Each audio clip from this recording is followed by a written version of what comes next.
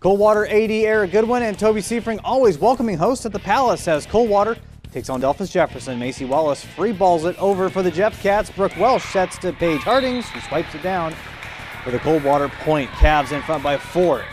Hardings sets to Danielle Welsh, and that's a kill for the junior. More from the home team. Hardings sends it over, and it comes back her way. She's ready for the big spike right there. Very fast start for Coldwater. Now Allison Setoff serves up an ace right there to make it 14 to 3. Then Hardings with a cross court set to Welsh. There's another kill as Coldwater rolls to a straight sets victory.